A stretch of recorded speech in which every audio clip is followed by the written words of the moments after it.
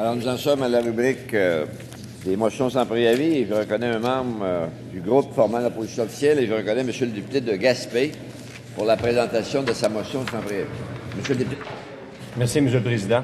Je sollicite le consentement des membres euh, de cette Assemblée afin de présenter conjointement avec la députée de Sainte-Marie-Saint-Jacques la motion suivante. Que l'Assemblée nationale demande au gouvernement de répondre positivement à la demande des acteurs politiques et économiques de la Gaspésie et s'engage à remettre en fonction le train de marchandises sur l'entièreté du tronçon entre Matapédia et Gaspé.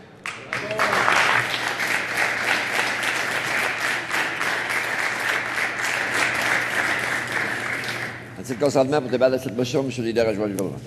Adopté sans débat, le Président. Alors, euh, la motion euh, est proposée de l'adopter sans débat. Est-ce que la motion est adoptée? Adoptée. Maintenant.